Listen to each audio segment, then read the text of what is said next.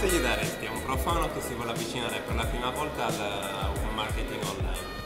Allora, eh, la prima, forse anche più banale cosa è quella di eh, fare esperienza, perché questo è un settore dove sì, mh, mm, io stesso ho iniziato quando, avevo, quando era nel 2002, ho iniziato con un corso eh, sulla SEO e poi dopo uh, sono andato avanti per, uh, per esperienza. Quindi, mm, ok, dopo un corso iniziale uh, mettete le mani nel, in pasta, diciamo. Eh, ci sono vari modi per farlo, anche, anche gratuitamente se all'inizio non volete rischiare di bruciarvi, cosa molto semplice, molto facile che succeda, insomma.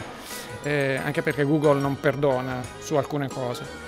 E si possono fare, per esempio, si può lavorare per una Onlus, ad esempio, offrirsi di fare dei lavori gratuitamente, oppure tentare di fare qualche stage in qualche web agency un po' strutturata o SEM agency ancora meglio. Eh, oppure ancora ci sono vari portali online dove io posso vendermi ad ora, vari portali internazionali tipo che so uh, People per Hour o up, upwork.com e lì provo a fare le prime esperienze.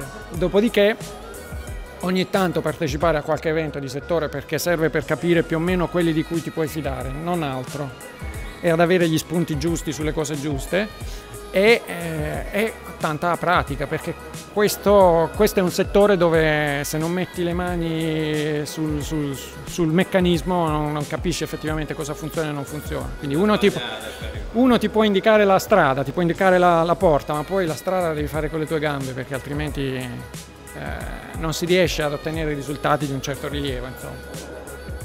Grazie mille. Prego. Buon proseguo. Grazie. Buon pranzo.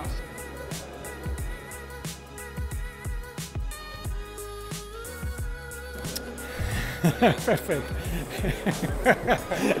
allora, abbiamo adesso ripasso. E la rifacciamo. Sì.